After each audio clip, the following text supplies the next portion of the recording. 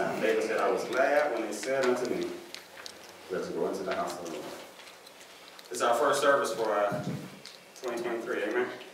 I know we're kind of here on uh, uh, the night of 31st and the morning of the 1st, but uh, it's our first uh, service. Uh, I feel like we ought to give the Lord a uh, standing ovation, amen? Oh, yeah.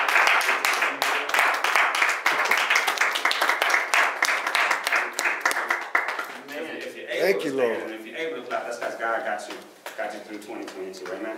Amen. It's, uh, A lot not here. Yeah, a lot of people didn't make it, amen? A lot of people gathered on the 31st and didn't make it to the first, amen? But God allowed us to, to make it, and He allowed us to be here this morning. And that, we don't take that for granted, amen? Uh, I want to welcome our visitors, uh, Miss Yvette. uh, And the Green family, want to welcome them all. Yeah, yeah. My friends. Um, We had a meeting a couple of Wednesdays ago, and I, I had the leaders in here, and we talked about, uh, kind of like the vision and the, uh, uh, direction that we'll be going in this year. Uh, I think for this year's promotion, this is our year of promotion, we talked about that. And the first thing we want to elevate, uh, because promotion means go to the next level, right? Uh, is our music ministry, amen, we want to give, uh, Jason some, some help over there. So, yeah, we got, we got a, a keyboardist coming next week, and we got a, a lead singer coming next week, amen? Okay. So we're gonna take our praise and worship uh, up a notch. I mean, you've been doing your thing, and we appreciate you, man. We appreciate you, because you be anywhere this morning, amen? But you're in the house of the Lord, young man in the house of the Lord, as opposed to being anywhere else, amen? So we, we, uh, we wanna appreciate you, amen? And can we appreciate? All right, so let's get on into the word for today. Y'all clap for anything. I love it. All right, so we're gonna look at uh, the book of Daniel, amen? We're gonna look at uh, the, the promotion um, process, if you will. We wanna look at how, how God, uh, how God uh, promotes, all right? And we wanna also look at how the, uh, the enemy promotes, amen? Because God wants to promote you, amen? God wants to favor you. God wants to, uh, to bless you, right? He wants to bless us, right, as we his people. I want to bless my kids, amen. You want to bless your kids. God wants to bless his kids. Amen. Amen, but we have to allow him to blessing. Amen, because sometimes we'll get in our own way, amen. Sometimes we'll get in God's way and we'll, we'll stop our own blessing, amen. Uh, Daniel 1, which is where uh, we get our fast from. Daniel 1, I want to read uh, verses 1 through 7. We'll um, look at the promotion process, amen? Daniel 1 In the third year of the reign of Je- Jehoiakim, king of Judah, came Nebuchadnezzar, king of Babylon, into Jerusalem and besieged it. And the Lord gave Jehoiakim, king of Judah, into the hand, into his hand, with part of the vessels of the house of God, which he carried into the land of Shinar, which is Babylon, to the house of his God. And he brought the vessels into the treasure house of his God. And the king spake unto Azaphan, the master of the eunuchs, that he should bring certain of the children of Israel, and of the king's seed, and of the princes, children in whom was no blemish, but well favored and skillful in all wisdom, and cunning in knowledge, and understanding science, and as such as had ability in them to stand in the king's palace, and whom they might teach the learning and the tongue of the Chaldeans. And the king appointed them a daily provision of the king's meat, and of the wine which he drank, so nourishing them three years, that at the end thereof they might stand before the king. Now among these were the children of Judah, Daniel, Hana- Hananiah, Mishael, and Azariah, unto whom the prince of the eunuchs gave names. For he gave unto Daniel the name Belteshazzar, and to Hananiah of Shadrach, and of Mishael, Meshach, and of Azariah of Abednego. Pray with me if you would.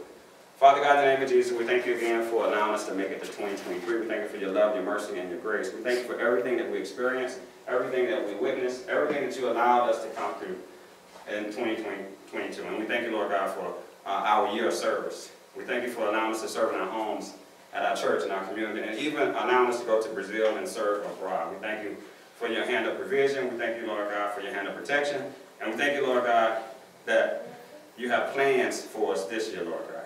And so allow us, Lord God, to um, be edified, built up, strengthened, and, ex- and established in the plans that you have for us, Lord God. Allow us, Lord God, to be the men and women that you called us to be. And allow us, Lord God, to receive whatever it is that you have for us today. Allow us to decrease and you increase. Allow us, Lord God, to hear you and experience you.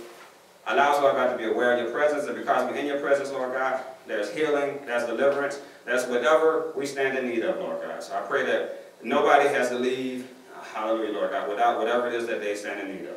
I pray, Lord God, that we all receive whatever it is that we, that we need. I pray, Lord God, that we be good ground. I pray, Lord God, that we be hearers and doers of your word. And I pray, Lord God, that we continue to give you the honor and the glory and the praise. Continue to use us and continue to have your way in our lives. In Jesus' name we pray. Amen. We're going to give the Lord a hand clap of praise we take. So if you look at our, our, our opening text, uh, you see a lot of a lot of names. You see like the name Judah, which means praise. You see the name Babylon, which means confusion. You see the name Jerusalem, which means teaching uh, of peace. You see the name Nebuchadnezzar, which means may Nebo protect the crown. Amen. So you see a lot of names in uh, in our opening text. Amen. And names are important because they speak to our character. Amen. Names are important. Uh, they carry a lot of weight, and especially uh, during this time in, in history. Amen the children of Israel would give their, their, their kids names based on uh, the character that they had or the character that they wanted them to have. Amen. And so uh, names are important. What I want to look at today is I want to look at how Nebuchadnezzar, uh, the diabolical, the evil genius that he was, I want to, I want to, I want you to see how he indoctrinated. I want you to see how he uh, dealt with the, uh, the prisoners of war. I want you to see how he dealt with uh, the captives Amen. Because as you know, uh, in our studies on Wednesday night as we go through the Bible, that the children of Israel, uh, God brought them into the promised land, but that was a contingency. Amen. If they obeyed him, if they followed him, if they stayed with idols, uh, then, then he would protect them. Amen. Deuteronomy 28 talks about all the blessings that he was going to pour again. Those blessings going to chase them down, they're going to take them over. Uh, but if they disobeyed, amen, if they followed out the idols and those types of things, then that was going to be a curse. Amen. They were going to be in, into captivity. And God explained all that to them, right? Uh, and we know that the northern kingdom fell first because all they had there were evil kings, right? And we know that Judah, the, the, the southern kingdom, that they fell uh, after the, the northern kingdom fell. Amen? Even, even seeing the northern kingdom fall, and even uh, with prophets coming to them telling them that, that God was going to uh, judge them based on their activities. Amen? And all they had to do was repent. All they had to do was uh, trust God. All they had to do was uh, put their idols down. Amen? But uh, instead, they, they, they, they, they chase after the idols, amen? They're, rebellious people, amen? Uh, they're disobedient people, and God had to judge them. And he uses Babylon, he uses Nebuchadnezzar as the instrument to which he uh, brings them into judgment, amen? God wants to use us to, to bless, amen? He wants to use us as vessels, uh, conduits, to which he could pour a blessing through to get to uh, his children, right? Amen. We, if we be good stewards of the blessings and uh, all the uh, things that God allows us to uh, have and possess, if we be good stewards of those things, then we're able to bless others that are around us. Amen. And as God promotes or elevates us, then we're able to promote and elevate others. We're able to edify others. We're able to uh, build up. We're able to strengthen. We're able to establish establish others. Amen? Amen. If we be obedient with this stuff that, that God allows us to steward, because I don't own nothing. Amen? I don't own nothing. It's all God's stuff. And so if God tells me to do something with His stuff, amen, I'm going to be obedient and I'm going to do it with His stuff. Amen? Uh, when you look at our opening text, you see that um, Nebuchadnezzar goes into Judah and he uh, captures it, right? If, if, you, if you look further into the history of it, you know that he besieged the city, right? Uh, he had some issues at, back at home, he had to go back and deal with, his dad was dying. And to ensure that he, uh, uh, had his place as king, he had to go back. So he takes some of the stuff from the temple, and he takes the choice of the people, the best of the best, and he takes them back with him, right? And so his plan is that he's gonna make them Babylonian. Amen? He's gonna make them, uh, a part of that kingdom. He's gonna, uh, take their brain out, so to speak, and he's gonna put that Babylonian brain in there. Amen? Kind of like, kind of like the Marines, not, not the, the Army or the Navy, we don't do that. Uh, but the Marines, that's kind of what they do, right? You don't, you don't serve in the Marines, you become a Marine. Amen? Semper Fi, uh, do or die. You, you don't become, uh, you don't become a sailor, you just serve in the Navy. Amen? Uh, you don't become a, a soldier, you just serve in the Army. But Marines become Marines, and they indoctrinate them. Just like a gang would indoctrinate. Amen? Just like a gang would indoctrinate. But that's what uh, Nebuchadnezzar does. He does four things. And this is what the enemy doing today with us. Amen? The enemy, we learned Wednesday night when we had Bible study, Ecclesiastes 1 and 2, that there's nothing new under the sun. Amen? Everything that's been done is being done. There's nothing new. Right? So the enemy used the same tricks uh, now that he used then. Amen? It's not new under the sun. Nebuchadnezzar does at least four things. I want to point out four things that Nebuchadnezzar does in our text right here. He, he isolates, he indoctrinates, he introduces, and he identifies. He does those four things. And it's the same thing that the enemy is doing today. Amen?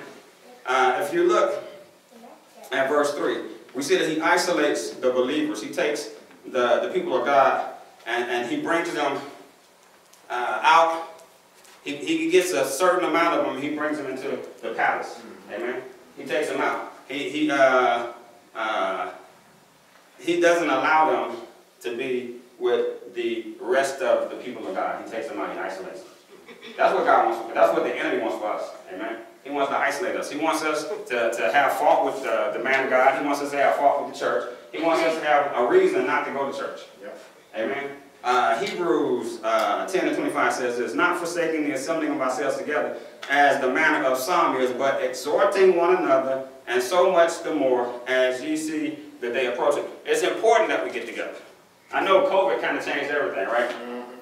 I remember uh, before COVID how uh, it was people all over the place. Amen. COVID hit. We had to stop. At some point, we had to stop coming in here. Amen. Uh, then we started uh, having church in the parking lot, right? You remember you was in your cars and it was safe. Uh, and we did that for a little while. Then we opened the doors back up. And it has never been the same. And I promise you, it's like that at most churches. I know at least two churches that had to shut down. Amen, because of the lack of uh, membership. Right? And you know, if we don't come, our, our tithes and our offerings don't come. Some of us don't even tithe and offer when we come. But you know, if we ain't in the building, we, our tithes and offerings ain't to make it to the building. Amen? And so a lot of churches had to shut down. Amen? But God allowed us to stay open. Amen? So, so I'm, I'm saying this to us all. The enemy wants to isolate us. He wants to get us all by ourselves so he can talk to us and tell us how uh, we don't need to be in the church. Amen. We don't need we don't need that foolishness. Amen. I can read my Bible right here. I don't have to go out there and hang out with them people. I don't have to wake up early on a Sunday morning. I got to wake up early tomorrow and go to work. Amen. This is my day of rest. I should be resting. Amen. So what he wants to do is he wants to isolate us. But we know that one can chase a, thousand, but two can put any 2,000 to flight. Amen. And so when we come together, there's power. Amen. And, and unity. There's power in the numbers. Amen. We know that uh, two, two are, are not easily uh, taken. Amen. One fall down, you got, got, you got your boy there to pull you back up. And the three-fold cord is not easily broken. The, so the more of us together uh, walking in the same direction, because how can two walk together except they agree? And all we get together and we and we unified and we got one mind, we single got a single mind, we can accomplish a lot of things. That's how the, the Tower of Babel was built. Amen. Yes. God said, I got to go down here and confuse these people.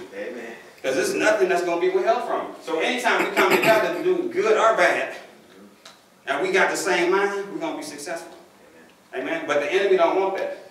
He wants you all by yourself. Amen. He wants to isolate. So that's the first thing he does. He isolates. Amen. Uh, the second thing he does is he indoctrinates. Right? And if you, if you look at our text, you see that he's going to roll them into the University of Babylon, amen, so to speak. And they got three year, three year of education or indoctrination, uh, brainwashing, to conform them to the Babylonian mindset, amen. But we know, right, that um, Romans 12, 1 and 2 says this, I beseech you, therefore, brethren, by the mercies of God, that you present your bodies a living sacrifice, holy and acceptable unto God, which is your reasonable service. And be not conformed to this world, but be ye transformed by the renewing of your mind, that ye may prove what is that good and acceptable and perfect will of God. So we're not to conform to the world. Amen. I, I don't go to my job and, and, and, and be like everybody else. Amen. I'm supposed to stick out. I'm supposed to be that oddball. I'm supposed to be uh, the person that don't necessarily uh, go to everything. Amen. And even if I do, like I do a lot of marriages, but we- we'll we'll we'll we'll do the we'll, I'll, I'll do my part, and then we'll leave. Right? Because because I, I I do a lot of marriages for the people I work with, and so we'll do I'll do my part in the pulpit, and then we'll leave most of the time. Because now now they're gonna get turned up. Right? Now they got a party, they got to celebrate, you know, they popping this and they drinking that, and, and, and I'm not, I'm not, I'm not trying to conform to this world. Amen? I, I, I'm, I'm, I'm a, we're peculiar people, a royal priesthood. We're not of this world. We're in this world, but we're not of this world. Amen? We're passing through this world. Amen? So, so the second thing that he does is he, tries to indoctrinate them. Amen? But we got to be conformed, not conform to this world. Right? We got to renew our minds. We got to renew our minds, amen. I think uh, Sister Linda preached a great sermon on that uh, a few weeks ago, amen. We got to renew our minds. How, how do we renew our minds? We, we got we to renew it with this word, amen. We got to renew. We got to get in this word. That's why I like our Wednesday nights. How we just go through uh, straight through the Bible. We started in Genesis, we're in Ecclesiastes now, and, and, and it's hard it's hard to, to, to, to, miss over or to, to skip over something, or subject, or uh, text when you're going straight through. So you're dealing with homosexuality, amen. You're dealing with racism. You're dealing with everything because you're going straight through. You're not getting to pick and choose your topics, amen, based on uh, what's politically correct and what's politically incorrect. You're just going straight through the Bible. Amen. This is just thus saith the Lord. And so don't blame the pastor if we're talking about homosexuality. That's it's, it's, it's in there. Amen. Amen. It's in there. Uh, but, but that's what he wants to do. He wants to indoctrinate them. And that's what the world wants to do with us. They want us to think like them. They want us to dress like them. They want us to drink like them. They want us to eat like them. Amen? And when you don't, it's obvious. But it should be. It should be obvious. Amen? It should be obvious. Present your body as a living sacrifice, holy. And except holy means different. Amen? If, if, if I go to your job if they accuse you of being a Christian at your job, would it be enough evidence to convict you? Would it be enough evidence to what, What's the evidence? How do you know this guy's a Christian? Amen? Um, so they want to isolate, they want to indoctrinate. The next thing he does is he introduces.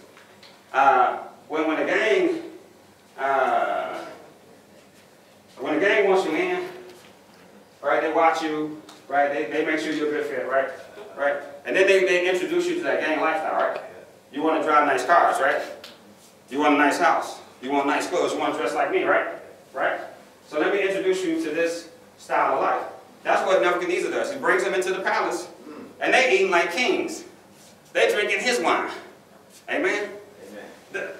Isn't that odd? Yeah. These are prisoners of war.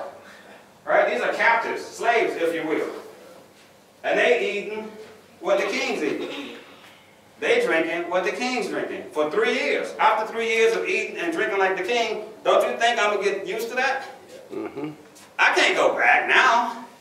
I'm doing whatever I need to do to stay at that table. Amen? And, that, and that's what that's what gangs do. That's what the Marines do.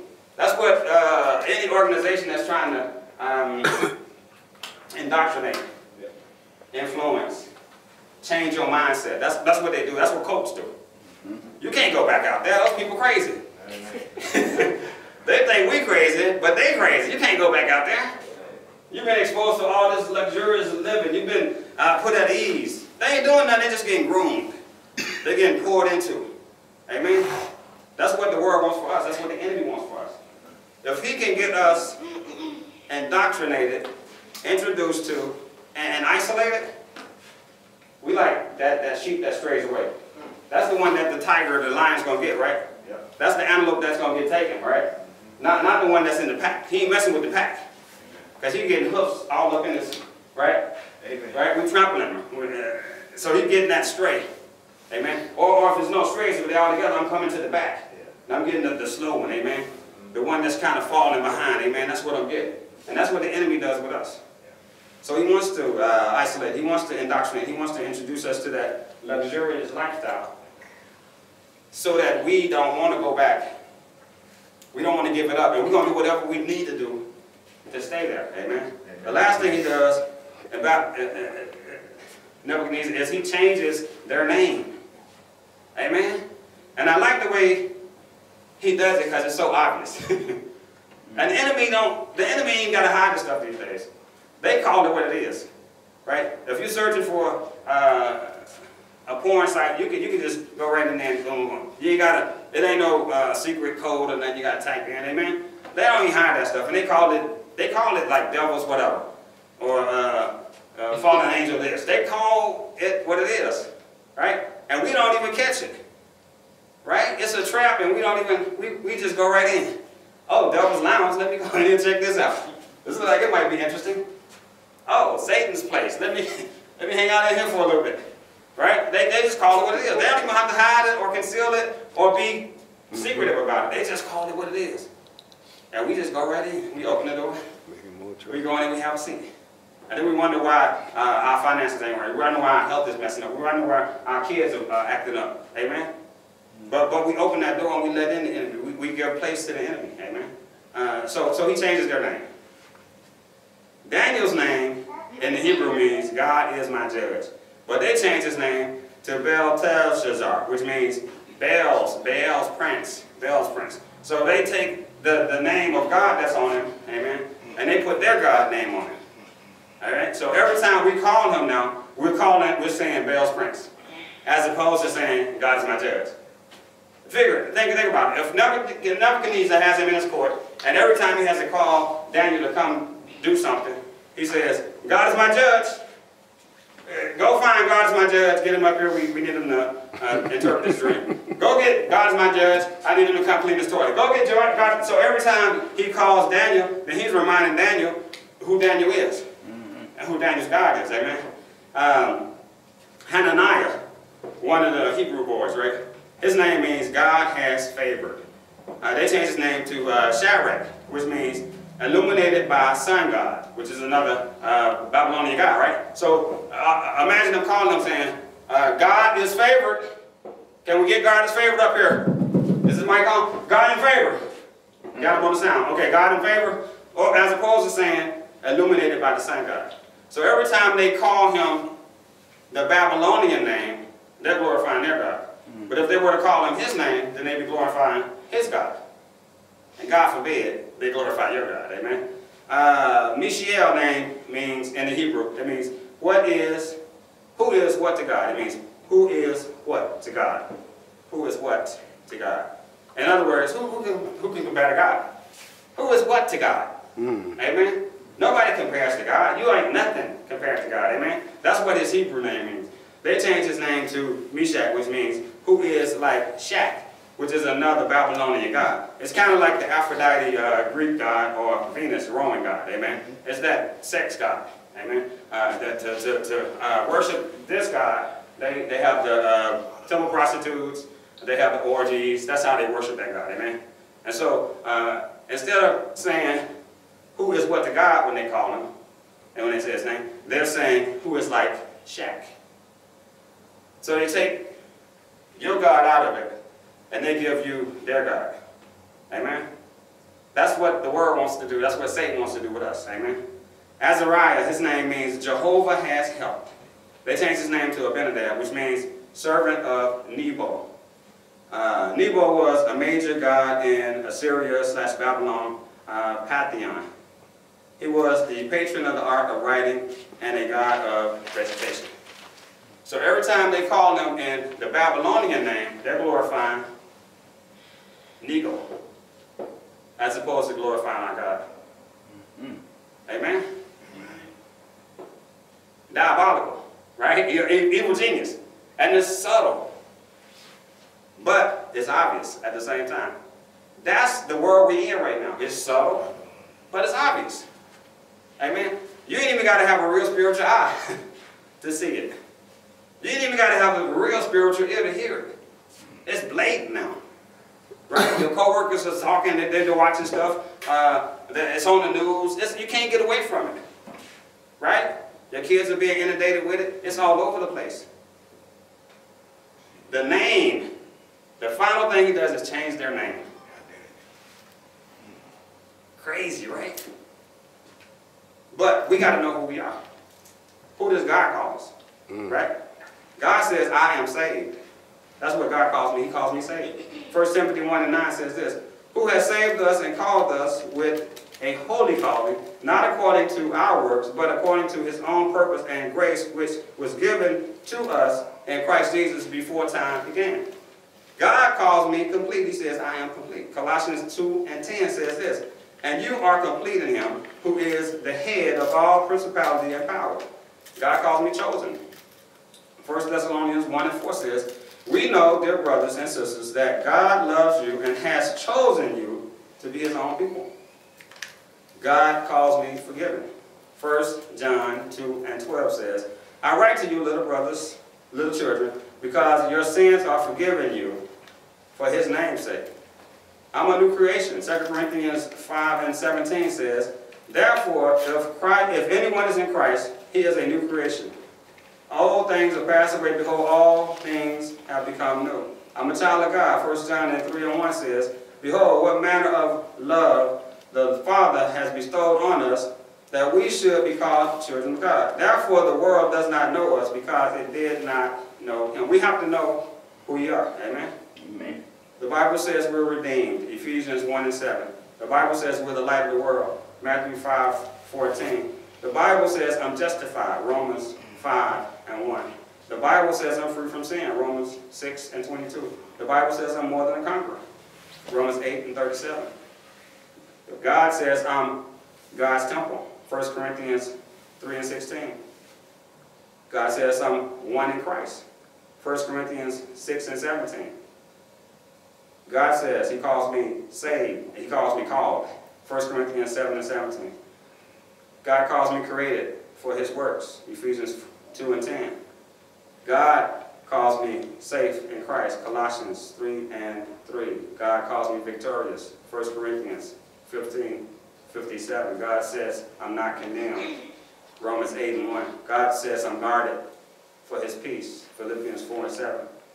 God says I'm no longer a slave. Hmm. Galatians 4 and 7. God says I'm accepted. Romans 5, 15, 7. God calls me ambassador of Christ. 2 Corinthians 5.20. God calls me healed.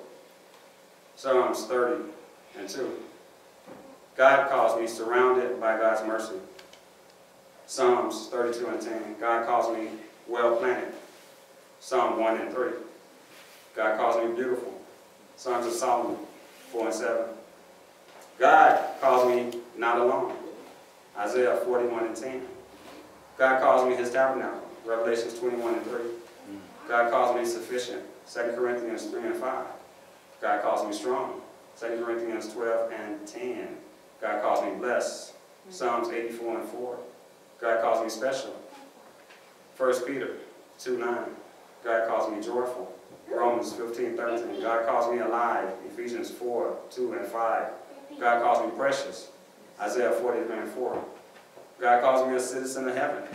Philippians 3 and 20. God calls me wonderfully made. Psalm 139 and 14.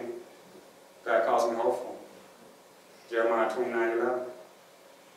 God calls me his. Isaiah 43 and 1. God calls me wise in God. Proverbs 2 and 6. And I can send these out to you. Amen. And this is just a portion of what God calls us. The world is going to call you anything but a child of God. So we got to know what God calls us. Whose report are you going to believe? Are you going to be what they call you? Or are you going to walk in what God calls you? Amen? Amen. Ahead give the Lord a hand clap of praise.